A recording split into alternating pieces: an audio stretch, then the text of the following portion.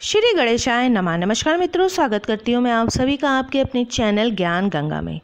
शुरू करते हैं आज का पंचांग। आज यानी 14 अप्रैल 2020 दिन मंगलवार।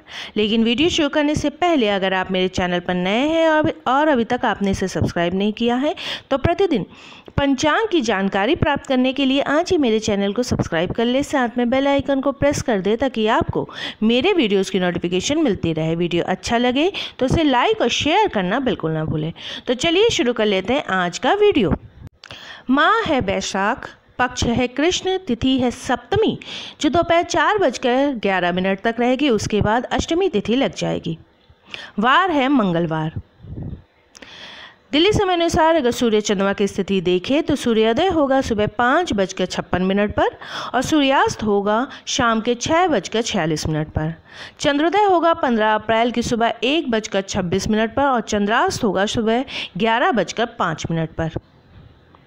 आज नक्षत्र है पूर्वाषाढ़, जो कि शाम के सात बजकर इकतालीस मिनट तक रहेगा। उसके बाद उत्तराषाढ़ नक्षत्र लग जाएगा। योग है शिव, जो शाम के छः बजकर तीन मिनट तक रहेगा, उसके बाद सिद्धि योग लग जाएगा। प्रथम करण है भव, जो दोपहर चार बजकर ग्यारह मिनट तक रहेगा। द्वितीय करण है बालव, जो पंद्रह अप्रैल की सुबह चार बजकर पच्चीस मिनट तक रहेगा। सूर्य रहेंगे मेष राशि में, चंद्रमा रहेंगे धनु राशि में 15 अप्रैल की सुबह एक बजकर अट्ठावन मिनट तक, उसके बाद चंद्रमा मकर राशि में चले जाएँगे। सूर्य नक्षत्र है अश्वनी आज का दिशा सूल है उत्तर दिशा, इसलिए यात्रा पर जाने से पहले घर से गुड़ खाकर निकले। राहु का वास रहेगा पश्चिम दिशा में। आज के शुभ मुहूर्त इस प्रकार रहेंगे।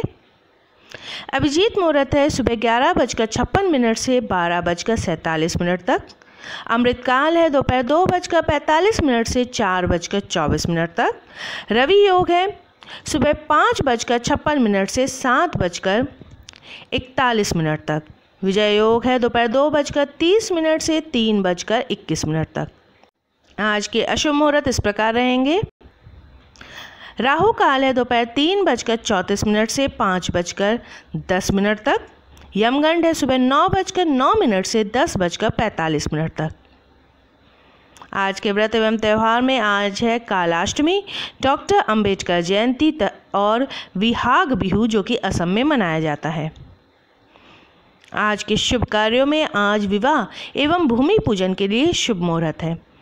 तो ये थी जानकारी आज के पंचांग की। मेरे वीडियो में अंत तक बने रहने के लिए आपका बहुत बहुत धन्यवाद। फिर मिलेंगे किसी नए वीडियो के साथ।